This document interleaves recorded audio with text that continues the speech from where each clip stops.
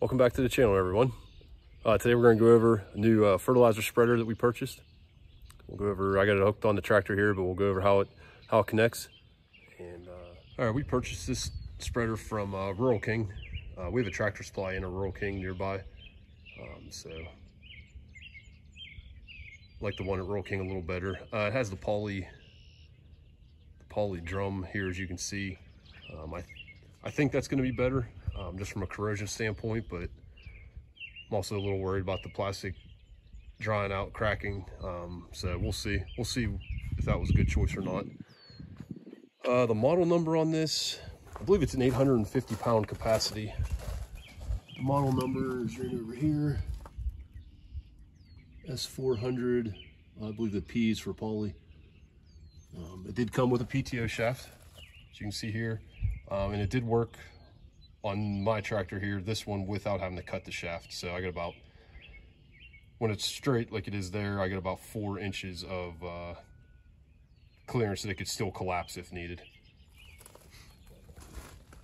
This did not come with a stainless steel uh, spinner um, they looked like some of the ones I had online looked like they had a, a, stainless spinner, but I cannot find one at a store that did. And then uh, even the ones online, the pictures showed it, but the specifications did not. So I'm not sure whether they actually had one. I would have liked that feature, but uh, we'll just keep up with this one. Um, just making sure we hose it down good when we're done and then uh, either keep some oil on it or keep it painted or whatever we need. I'm gonna try and make this last a long time, so it has a standard two, two opening doors uh, to allow the, the fertilizer or the material to come out. Same thing, has, has two handles. They, they're locked together now, they could be separated. I did spend some time adjusting, you can see the, the adjustment nuts there on the doors. Um, I did spend some time adjusting those. Um, there's nothing in the manual about it, but I didn't like where they were at. They basically they stayed closed for half the travel of the arm. So we we got those adjusted to where really no material leaks out. You can see a little bit there, but very little to no material leaks out. And then uh, they do open what I think is more correctly. I did already have fertilizer put in this. Um, so I'll show you the the agitator inside the drum here when we get this spread.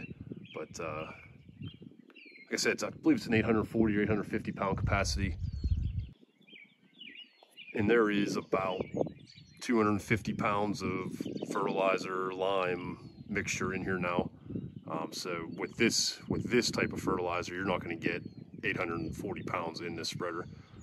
Um, but it is a pretty good capacity for what it is for a small three-point spreader. As far as adjustments there's not really a whole lot on it. Um, I have the the top link on the three-point adjusted so it's just pitched ever so slightly towards the tractor. That'll just help, I believe, when it gets low for the for the material to come out more easily. Sorry about the wind. Um, but other than that, there's not really much adjustment on it. Like I mentioned already, I adjusted the the opening gates for the for the hopper itself.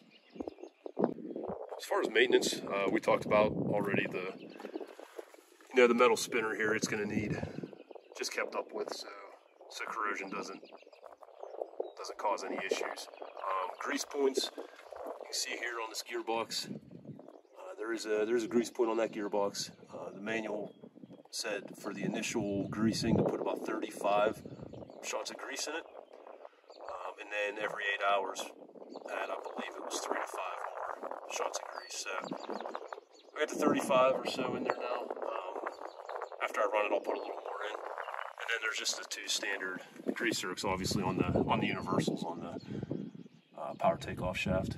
But Other than that, there's not really much maintenance wise here. Uh, my biggest worry is really just corrosion. So mean, most of these, they don't do a great job with paint, as you can see. I mean, they spray it, but down inside, down inside these areas, the camera's not picking it up, but the paint coverage is not very good. There's already some scratches on it just from shipping. Um, so I'm just gonna try hard to keep up with it and just, just watch for the corrosion. With fertilizer, obviously, anything that's not treated, it'll corrode quickly, so just gonna do the best I can with that. Try and make it last as long as possible. One of the reasons we went with just a, a small three-point hitch type spreader for fertilizer is I want to be able to use this on the on the BX also. Um, to just spread some fertilizer in the in the yard um, around our house and in some other areas like that. Um, I wanted something that we could put on a on a lighter weight tractor, um, just not to have not to have any rutting or compaction issues. So obviously I will not on the BX I would not be filling this up to capacity or probably not much over 300 pounds or so of uh, fertilizer in it. So um, right there it has, like I said, I think that's 240, 250 pounds of, of fertilizer.